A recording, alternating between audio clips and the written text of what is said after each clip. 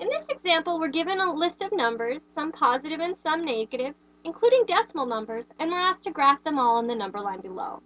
So let's begin with the first one. The first number we're asked to graph is negative 1. So we can find negative 1 on our number line. It will be one unit below 0. We put a circle in at negative 1. The next one's a little more interesting. It's 2.7. When we think about graphing a decimal number, it can sometimes be helpful to think of the decimal as a fraction. Remember, the official name of this decimal is 2 and 7 tenths. So if we're written as a fraction, it's 7 over 10. The denominator of the fraction tells me how many equal-sized spaces you need to divide every unit into. So when we're getting ready to graph decimals, we're going to take every interval between whole numbers, so 0 to 1, for example, and put 9 little lines in between so that there are 10 spaces in between. And we'll do the same thing from 1 to 2, and the same thing from 2 to 3. So we've created 10 spaces in between each whole number by drawing line, 9 little lines.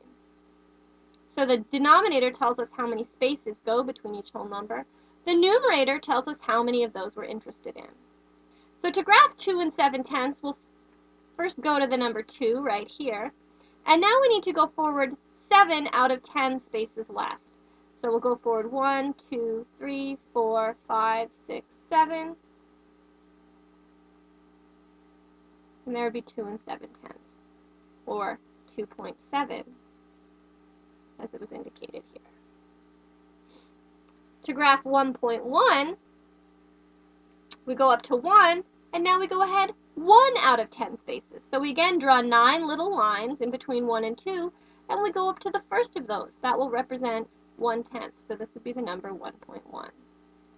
To graph the number 2, that's a little more straightforward, right at 2, there we are.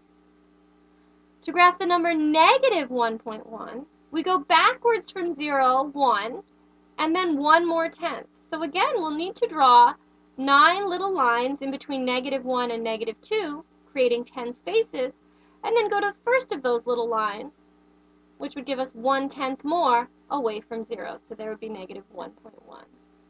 And finally, we're asked to graph 0.1. So we're not even at a whole number yet. We're starting at 0, and we're going forward 1 tenth. The number 0.1 as a decimal is the same as the fraction 1 tenth. So we create 10 little spaces between 0 and 1, and we go forward one of them to get to the number 0.1.